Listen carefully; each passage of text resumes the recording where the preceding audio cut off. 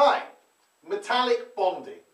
Metals are on the left of the periodic table, which means they want to lose electrons to get full outer shells.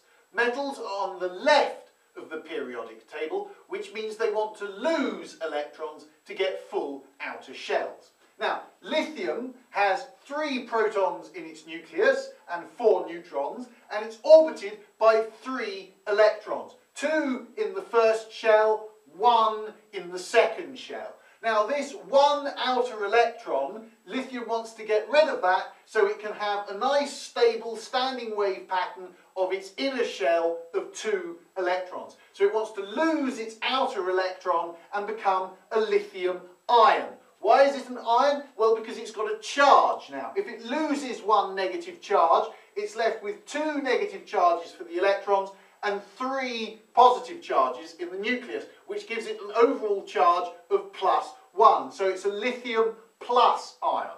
Now, metals form a lattice of positive ions surrounded by a free sea of electrons. Now, I can't stress enough how important that sentence is. That will count for getting on for six marks in physics and six marks in chemistry. So, metals form a lattice of positive ions surrounded by a free sea of electrons. So here we have the structure of lithium. It's a lattice, a regular arrangement of lithium ions surrounded by a random and freely moving sea of electrons. These are the electrons that the lithium atoms have given up to become ions. So this lithium has given up one electron, this lithium has given up one electron, this lithium has given up one electron, and so on. And these electrons form a free sea of electrons which bind the lattice together because the positive lattice ions are attracted to the negative electrons,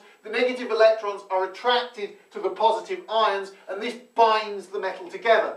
But these electrons are free to move through the metal and this is how metals are able to conduct electricity. So once again, metals form a lattice of positive ions surrounded by a free sea of electrons. These electrons are free to move through the metal and that is how metals are able to conduct electricity. And this is a very important diagram, the structure of lithium. The other metals have very similar structures.